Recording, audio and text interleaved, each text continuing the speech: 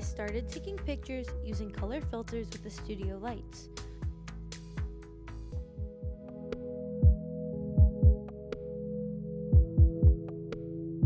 I took pictures with light colors and dark colors to see what worked well together.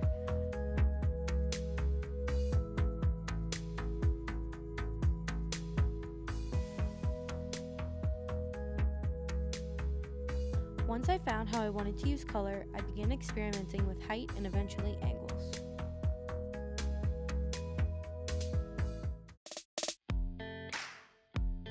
In order to do light writing with pictures, I had to learn how to set the camera to keep the shutter open long enough to write a word or draw a picture.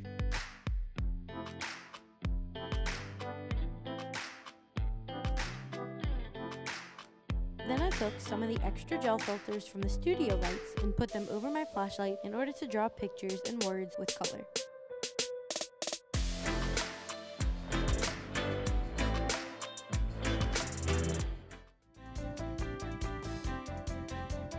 I first started taking pictures with the white lights using the flash. I also tried having the lights on. Then we eliminated the lights and flash.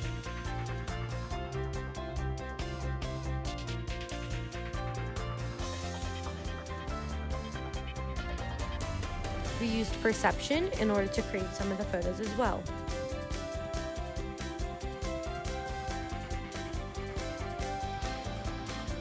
I also used the mirror to see if I could create cool effects with the lights.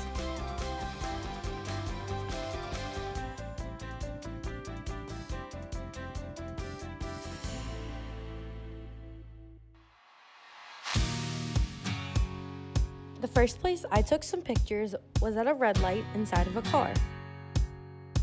Next, I took pictures outside of my car, standing still.